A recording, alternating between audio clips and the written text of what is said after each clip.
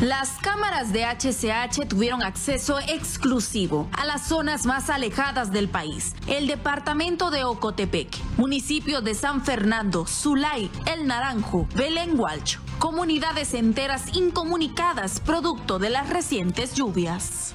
Sí, también, así que la área de aquí, nosotros aquí estamos comunicados porque la ruta que pasan para otro municipio, que vamos a hacer las cosas que no hay aquí en el pueblo, a la parte de la gente, pero no hay pasada. Puente había, pero se lo llevó a la quebrada esta del manzano, mire, asienta el río, se lo llevó, no, pero estamos incomunicados. Por la gracia del Señor estoy bien, bien, por la gente que se siente, la gente de, los lugares, de las aldeas. Yo no, yo estoy bien por la gracia del Señor.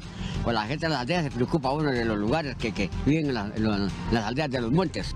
El pésimo estado de las carreteras, la falta de nuevos proyectos para la construcción de puentes, es uno de los problemas que en estos momentos no permiten el ingreso de alimentos a los pobladores. Aquí directamente lo que hemos hecho es que nos ha tocado usar las botas de hule salir.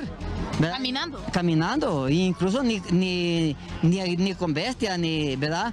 No hemos podido salir. Sí, estamos totalmente incomunicados, la carretera no nos ha, no hemos tenido acceso a salir a comprar nuestros víveres y pues sí, hasta el momento hemos estado con la necesidad de los víveres acá en nuestra comunidad. En estas comunidades los problemas, según el alcalde, son constantes y no algo nuevo, y radican las malas construcciones que se han hecho durante años. Utilizan materiales de mala calidad o incluso las carreteras y puentes duran por periodos de tiempo. La gran dificultad que tenemos es la vía de acceso eh, en totalidad, ¿verdad? La, eh, vía, eh, es decir, a nivel de municipio no tenemos una calle que esté buena, que, esté en condiciones de, de transitarla. también tenemos un puente caído de muchos años, como bien lo dijo usted. esto, esto es algo de muchos años atrás que no hemos podido lograrlo con otro gobierno. Esperamos que, que ahorita en el gobierno de doña Xiomara Castro seamos tomados en cuenta ya que es una grave necesidad para la zona norte del departamento de Ocotepec. Asimismo, el flujo de energía eléctrica es intermitente y en muchas zonas llevan más de un mes esperando la reconexión de energía eléctrica. Es correcto, sí, eh, tenemos la comunidad de Queseras eh, que ya tiene un mes de estar sin luz. Es preocupante porque la, población eh, necesita la energía. Todos somos humanos y necesitamos de la energía urgen de la reparación de sus tramos carreteros, ya que de no ser así estarán comiendo de lo poco que les queda en sus hogares y las ayudas que les brindan. Y hemos traído aquí a esta comunidad del Naranjo, del municipio de la Encarnación, eh, traemos aproximadamente 13 mil libras de alimentos.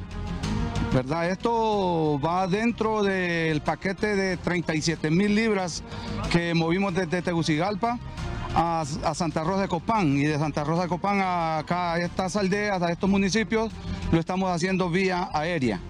Por ahora, la única solución que han encontrado es unirse entre los habitantes para hacerlo posible y habilitar las zonas de los desastres con bolsas de tierra y los carros pasar a baja velocidad para que no ocurra una tragedia. Aquí prácticamente un mes incomunicados. Ayer con la gente logramos arreglar el paso para lograr pasar los pasos para allá porque no teníamos cómo pasar alimentos, no teníamos cómo pasar con un enfermo, los tocaba que salir por la finca arriba, sacamos enfermos a la clínica y los tocaba que sacarlos en el lomo porque aquí no teníamos paso absolutamente hasta ayer. Caminando prácticamente salían de ese sector. Caminando aquí yo, con mis dificultades, yo dejaba mi carro al otro lado, y entonces eh, salía aquí, otros me venían a sacar de la mano ahí en ese barranco para arriba.